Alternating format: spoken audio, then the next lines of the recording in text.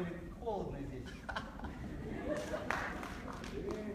Надо его согреть аплодисментами.